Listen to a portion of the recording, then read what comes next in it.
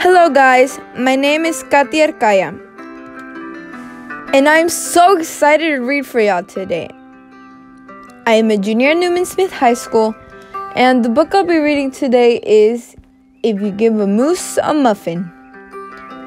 This book is by Laura Joffe Numeroff, illustrated by Felicia Bond.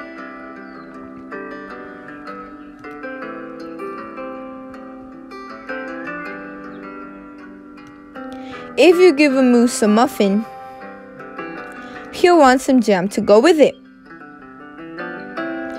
So you'll bring out some of your mother's homemade blackberry jam.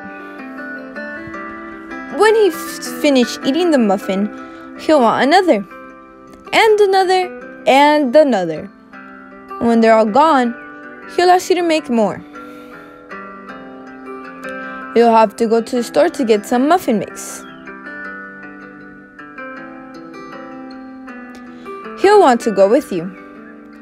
When he opens the door and feels how chilly it is, he'll ask you to borrow a sweater. When he puts the sweater on, he'll notice one of the buttons is loose. He'll need a needle and a thread. He'll start sewing. The button will remind him of the puppets his grandmother used to make. So he'll ask for some old socks. He'll make sock puppets.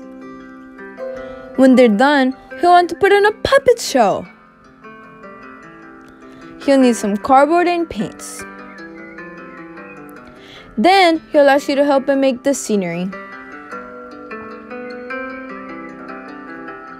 When the scenery is finished, he'll get behind the couch.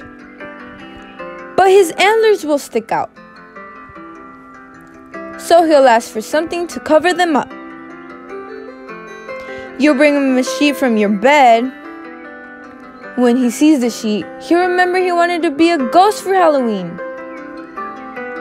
He'll try it on and shout, Boo! It'll scare him so much he'll knock over the paint. So he'll use the sheet to clean up the mess. Then he'll ask for some soap to wash it out. He'll probably want to hang the sheet up to dry.